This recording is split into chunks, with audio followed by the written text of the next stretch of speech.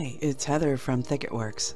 Today I'm going to demonstrate just how easy it is to stencil with Seth Apter's Baked Texture Embossing Powders for Artists. I'll be demonstrating this technique over this ordinary background created with DIY spray inks on glossy inkjet photo paper. Liquitex modeling paste mixed together with black craft paint will act as the binding media for the baked texture embossing powders. I received this gorgeous angel wings stencil designed by my friend Kristie Taylor. If you'd like to pick up this beautiful stencil, there's a link in the description. I'm mixing together enough modeling paste to cover the surface of the stencil with a few drops of black acrylic craft paint I've chosen to tint this mixture so that any bits of it that peek through the final layer of embossing powder will add depth and richness to the design. You can add any color of acrylic paint that you like. When you peel the stencil away, the surface is ready to receive the baked texture. I'm using Ancient Amber for this example. You will want to make certain to clean your stencil as quickly as possible after using modeling paste. When we heat the baked texture, that's causing the underlying modeling paste to boil and bubble like a cauldron full of eye of newt. The resulting texture is richly organic and full of life.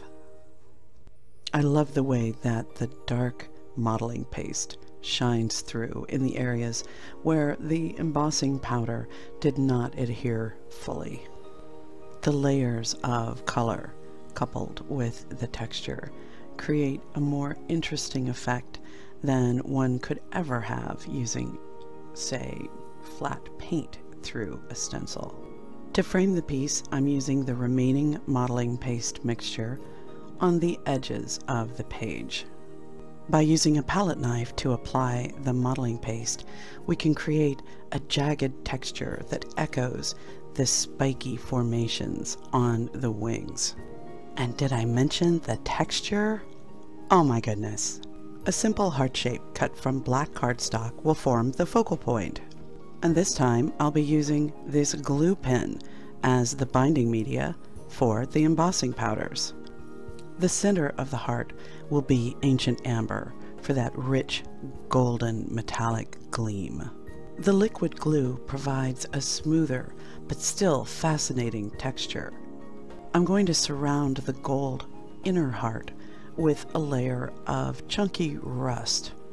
Initially, I thought this would be a combination that would work well with this piece, but I changed my mind as the piece progresses.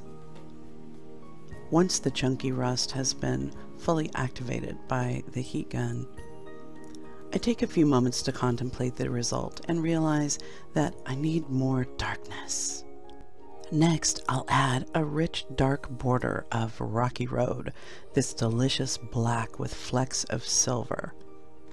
But there's still not enough darkness.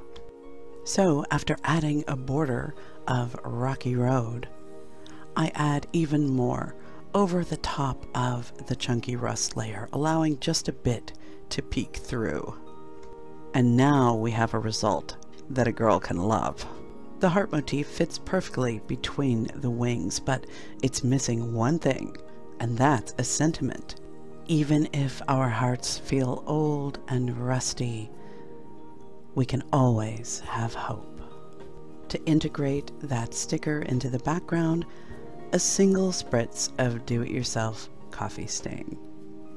And once it's dried, double-sided foam tape is used to lift it slightly off of the background surface. If you're a fan of grungy texture coupled with gorgeous metallic gleam, you'll have to give this technique a try. The resulting texture is delicious to touch it's a delight for the eye and for the fingertips. Kristie's beautiful stencil design has been a pleasure to work with, and coupled with the Seth Apter baked texture embossing powders for artists, this powerful motif really comes to life and helps to express something that I feel very strongly about. Always have hope, no matter what. Thank you for hanging out with me today. Until next time, bye.